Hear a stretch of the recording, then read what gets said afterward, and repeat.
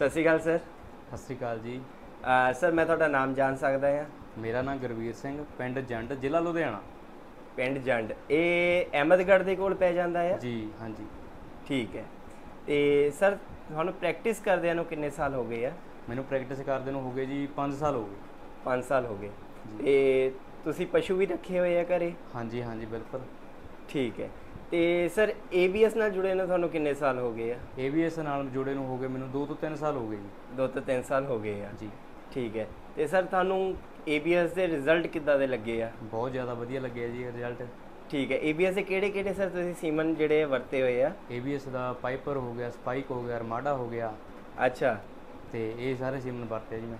ਠੀਕ ਹੈ। Sir conception ਕਿੱਦਾਂ ਲੱਗੀ ਆ ਤੁਹਾਨੂੰ ਇਹਨਾਂ ਦੀ? ਬਹੁਤ ਜ਼ਿਆਦਾ ਵਧੀਆ ਜੀ।